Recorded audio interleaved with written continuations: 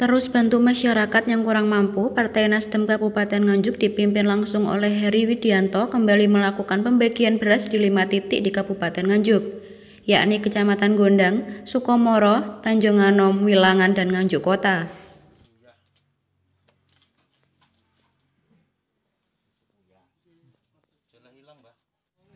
Hal itu dilaksanakan untuk membantu sedikit meringankan beban hidup masyarakat yang kurang mampu di tengah pandemi COVID-19 yang tengah melanda tanah air khususnya di Kabupaten Nganjuk. Selain sembako, di hari sebelumnya Partai Nasdem juga melakukan pembagian masker di beberapa titik di Kabupaten Nganjuk dan melakukan bedah rumah di salah satu warga desa Kampung Baru, Kecamatan Tanjung Anom, yakni Kartini yang merupakan janda empat anak.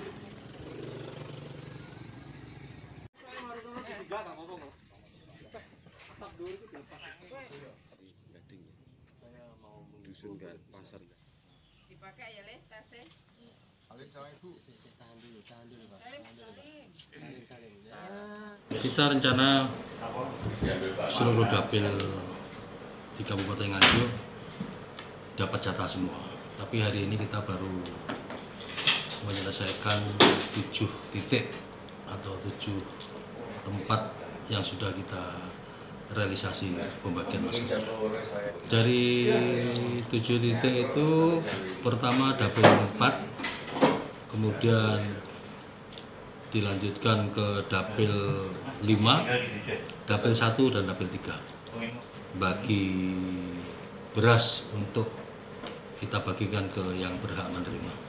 Untuk penerimanya kita tidak ada direncanakan atau permintaan dari dari mana pun. Jadi ini spontanitas dari rekan-rekan pengurus melakukan itu. Kemudian pembaginya juga tak serahkan ke rekan-rekan ke masing-masing daerahnya yang kira-kira barang itu bermanfaat dan layak menerima si penerimanya. Insya Allah saya dan rekan-rekan masih diberikan kesehatan, umur panjang dan dikasih rezeki. Kita tidak ada batas waktu, setiap saat bisa melakukan. Ya mohon doa restunya mudah-mudahan tetap sekali lagi tetap panjang umur dan ada rezeki tentunya. Dan semua kegiatan tersebut dilaksanakan murni dari dorongan hati dengan menggunakan dana dari pribadi dan iuran para pengurus Partai Nasdem Kabupaten Nganjuk. Dari Nganjuk, Siti Nur Khalifah melaporkan.